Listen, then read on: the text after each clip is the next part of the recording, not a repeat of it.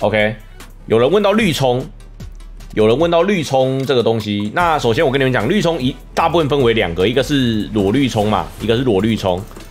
裸绿冲就是花半格加半格嘛，半格加半格，半格加半格。那这个东西的话，就是如果你是 DJ 或签名或主理的话，你就是干嘛随便冲随便中手，直接就可以屠戮了。这是他们两个，他们这是他们两个专属的。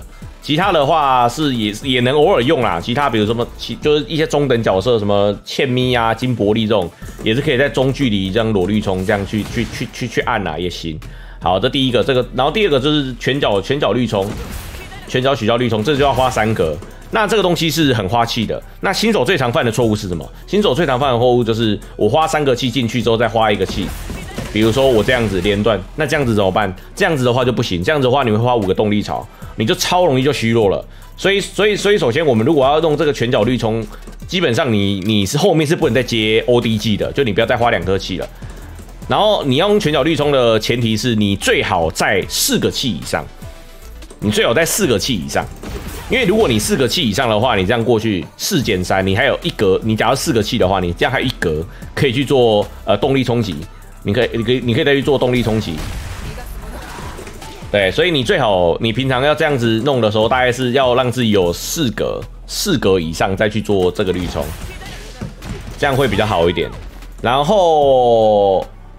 呃，还有一种，还有一种绿冲，这个是 这个是比较最基本的概念了，就是绿冲什么时候该用。然后另外一种就是，呃，假设如果我们这样打到人，我们这样打到人，我们我们的绿冲是不能乱用完的，我们的绿冲不能乱用完。假如说他今天血剩一点点，假如说今天血剩这样子好了，假如说他今天血剩这样子，呃。呃，这样子，这样这样子怎么接他都打不死的话，你就不要用绿冲了啊！我随便接个连段好了。啊，假如说这个样子，我假如我只有一颗气，这个情况是打不死的，对不对？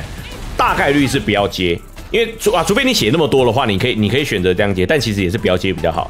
你就留一点绿葱，就比如说他剩这个血，我刚刚是不是花两次绿葱，然后没打死他？所以我们就就会变成这个样子，我们就直接这样，然后我们留我们留这些绿葱去做后面的，比如说啊，我们这样子动力冲击打到他，他是不是就死了？对不对？懂我意思吗？感谢 Coco 罗的星星。对，就是这个样子。呃，你如果能把人家打死的情况下，你就把绿葱花完。你如果打不死的情况下，你一定不要虚弱，大概率不要虚弱啊，除非你的血真的很多。但基本上是留一点气会比较，最起码留一格。你如果留半格的话，你如果留半格，假如说我今天我们剩半格，我们剩半格好了。我们如果剩半格。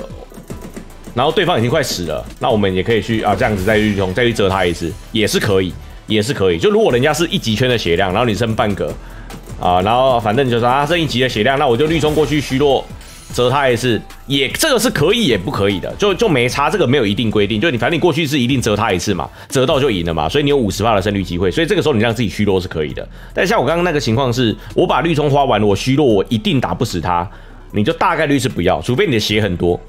你除非你的血很多，但是大概八成九成不要虚弱比较好啦，因为你后面比较可以做事情。万一你一个关角落没关好，他把你反关角落，你虚弱，他先打你一套，然后再把你打晕带绝招，你可能已经死了，对不对？或者没死之后，你打完那一套绝招，可能生死者你就死了，对，你会让自己陷入一个不利的状况。对，所以所以所以绿冲大概就是这几种用法。哎，全脚取消绿冲是有一些拳脚可以确认，但是通常都是重攻击，比如说重攻击这样打到。啊，重攻击一张打到，欠咪的不太行啊，欠咪的不太行。呃，有一些角色可以，比如啃的可以，欠咪的不行。这个其实硬要讲的话也可以，但是就比较难了，比较难了。这样打到，呃，比较难一点。欠咪的基本上都是重攻击可以，中中中攻击是一定不行的，中攻击一定要直接出去。你看我稍微慢一点，它就出不去了，有没有看到？哎，所以这个东西就是，如果你要中攻击取消的话，就是直接出去。反正它可以，反正反正它是正的嘛，你就直接出。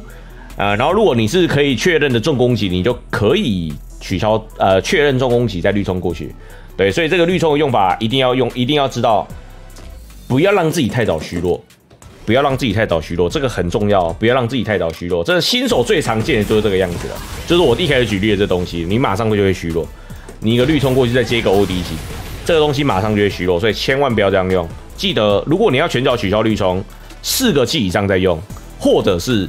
呃，人家已经你那个绿通过去是生死者，你打到他你就赢了。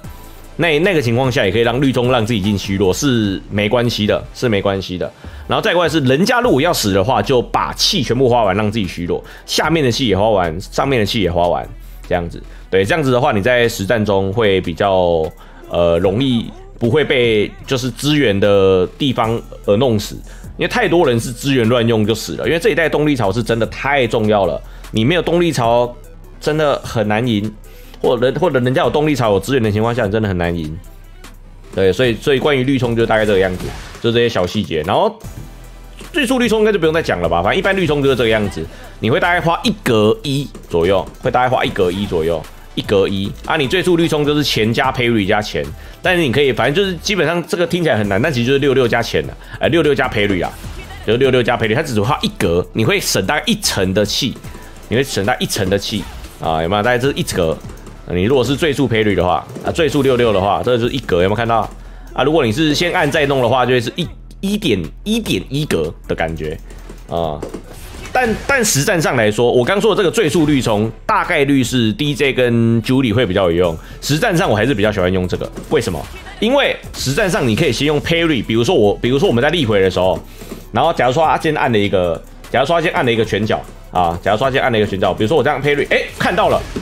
我这样可以过去打他，你懂吗？就是我在，就是我在 Perry 的时候，哎，我看到他的拳脚，我过去的时候，刚好我就知道我这个一定能打到他，你懂我意思吗？啊，万一我刚，万一我是最初绿冲，他可能就已经，就刚好他打在我脸上，你有可能有有有有知道吗？所以实战上的时候，这个东西其实也不错，就是先先按住再绿冲，先按住再绿冲，你可以先看到人家的拳脚，哎，按住，哎，这样刚刚好，好吧？所以这个这个用法其实实战上还是，呃，相对都有用处。都有用处，对对对，这个这这这个绿冲的用法，大家也可以记住。好，大概就绿冲就讲到这里吧。